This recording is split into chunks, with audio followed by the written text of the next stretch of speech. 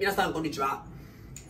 英検3級なのに英会話スクールを経営しておりますワーホリ社長の浜野正樹と申します。今回ですね前回はどれぐらいになったらどういうになるのかっていうご説明をさせていただいたと思うんですけどもじゃあどんな感じなのかっていうのをちょっとですね私がちょっと実際に真似をしてみます。初級の方の真似。超初級の方の真似。でこれ真似とは言ってますけども昔はそうだった私も28からこれやってるので、まあ、2000 2002年2003年とか2003年か2004年かけて、まあ、カナダでワーキングに行って1年で2005年からこれやっているんですが昔から私英検ができたわけじゃないんですよね。昔から英語ができたわけではないんです。なので具体的にどういう過程を踏んでできるようになったかっていうのは体験しているんですね。昔から生まれても育ちもではないんですよ私。なのでどこをやったらダメなのかどこをどうしたらできるのかっていうのがだんだん分かってきたんですね。ではですね具体的にどんな感じなのかっていうのをやってみたいと思うんですね。まず超初級編ですね。超初級。こんな感じなんですね。例えばあのそうですね。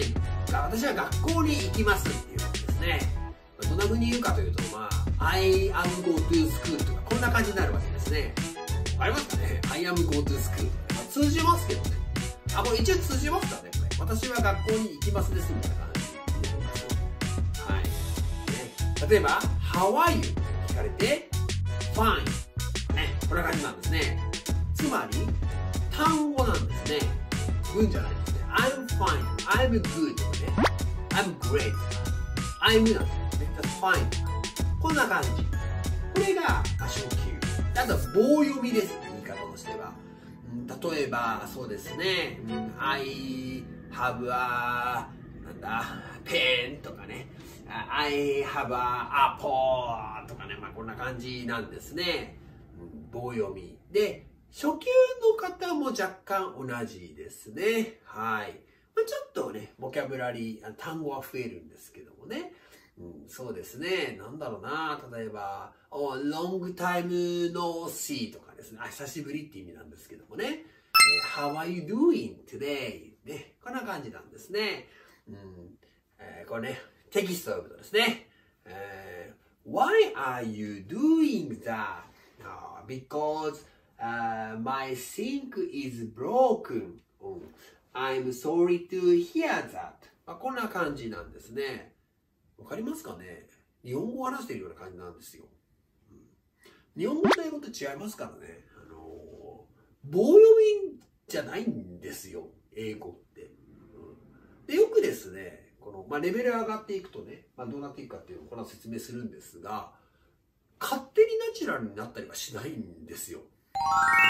例えば今ね、わざとね、Why are you doing? と、まあ、ちょっとテキストだと思います。Because my sink is broken. Oh, I'm sorry to hear that. まあ、こんな感じなんですね。はい。で、これレベルアウトどうなるかと、Why are you doing that? Oh, my sink is broken. I'm sorry to hear that. こんな感じなんですね。わかりますかね？違い。うん。まあ、流暢さはありますよね。流暢さ。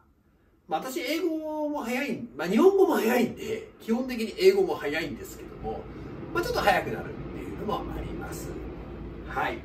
でですね、まあ、この初級がだんだんレベル上がってきまして、次、初中級ぐらい何どうなるかというとですね、えー、そうですね、I have been in Japan for five years.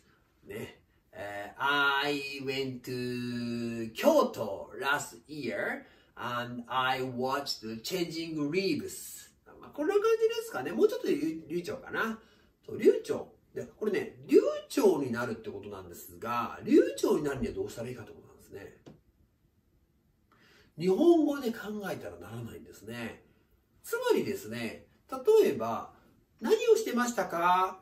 ね、例えば、what, what did you do last week? こうしましょうか。じゃあ、先週何してましたか？っていうのにね、えー、what did you do last week? ね、えー、先週何してたか、あ what did you do last week? ね、わかりますね。何をしてましたか？仕事していましたって言った時に、えー、何をしてましたか？えー、what did you do last week? Oh, I なんか、あ逆ですね。なんか、What did you do last week? って言ったので、お先週何してましたか、うん、仕事してました？うん。で、I worked at the office. こんな感じになるはずなんですね、初級の方は。うん、ではないってことなんですね。じゃあ、この回路を高速で訳してるのかってことですよね。例えば、え、え、what did you last week? って聞かれてね、あ、来週の先生でました。あ、働きました。Oh, I, I, I worked at the office. じゃないんですよ。これ、逆ですからね。これ、訳さないんですよ。訳さないっていうのが、ここ。だから、日本語じゃなくて、英語を言って、英語で。簡単なものなんです。What's your name? じゃなくて、もうちょっと先ですけどね。これがまだ初中級に当たりますね。で、ここからもうちょっとレベル上がってくると、例えば、そうですね、What did you do before you came here today? の時に、ね、これで I, ね、I ate breakfast. まあ、こんな感じですね。わかりますかね？ここに来る前何やってましたか？ってこう聞かれて、ね、ご飯食べてましたまあ、こんな感じなんですね。はい。ですのでね、概して、気がつきましたかね？早くなるんです、絶対。概して。で、早く話す必要性はないんですよ。話す必要ない。だから、基本的にだって、日本語があって、この部分なんですけどね。この部分です。なんですけど、日本語があって、英語にして、あ、こっちですね。失礼しました。ね？例えば、何をしてましたか？これちょっと消しちゃいますね。結構すごい重要なので。ね。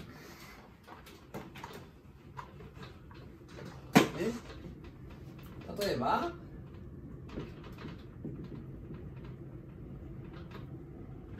先週何してましたか？っていうのはこうなるわけですね。last week。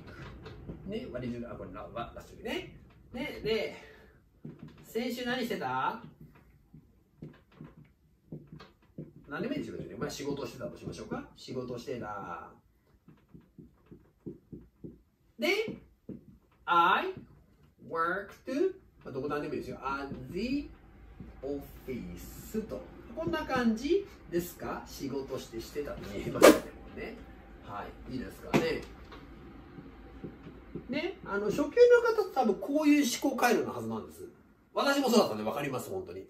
あ、私もそうでしたからね。これ、これね、本当信用してくんないんですよ。もうずっと前からやってるから。あの、昔の私知ってる人はね、あれなんですけどもね。はい。昔からできてるわけではないんです。そう。だから昔からできてるわけではないってことはどういうことかというと、誰でもできるってことなんですよ。誰でもできる。できない一番大きいのは、e ミックスではですね、メンタルとスキルとベーシックとこの3つの要素ってさせていただくんですが、スキルとベーシックはどこのスクールでもやるんですよ。はっきり言っちゃうと。ね。スキルとベーシックはどこでもやるわけですね。ベーシックっていうのは、いわゆるルールです。単語なんですね。5の格言、ウェントとか、もうこういうやつですよ。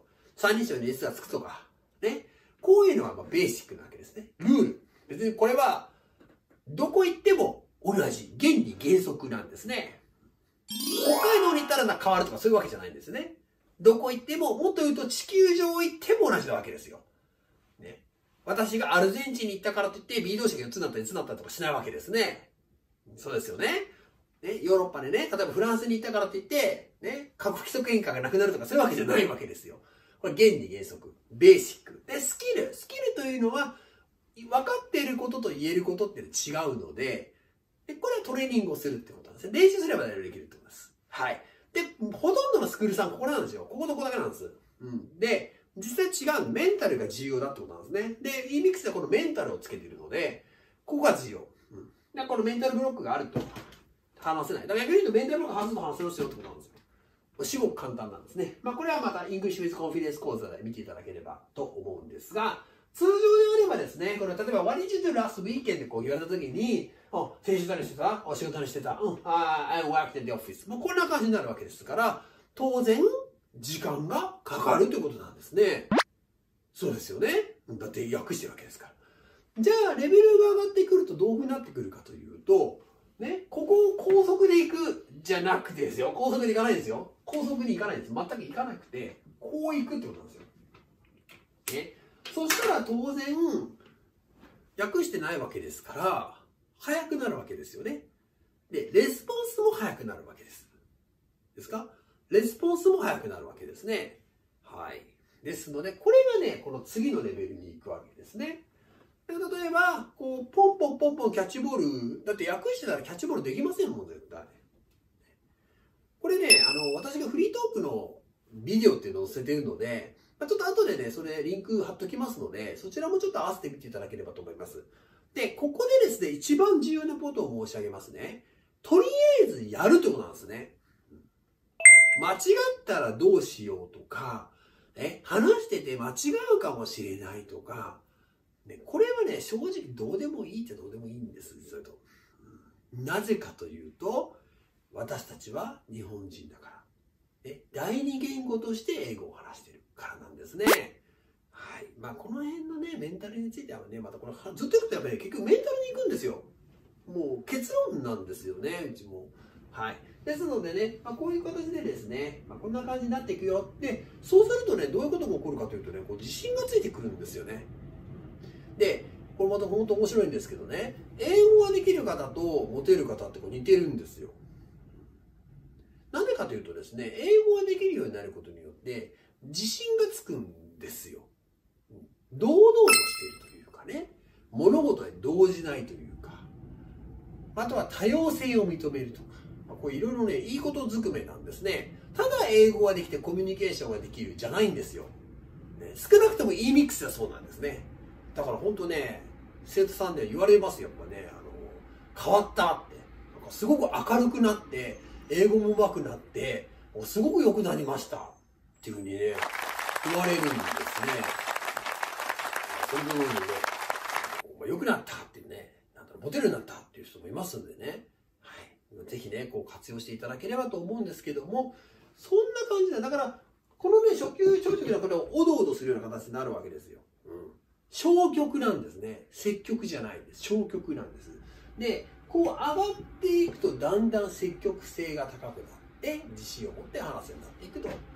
まあ、こういうような形になりますんでね、はい、ぜひ活用していただければと思います。はい、本日はありがとうございました。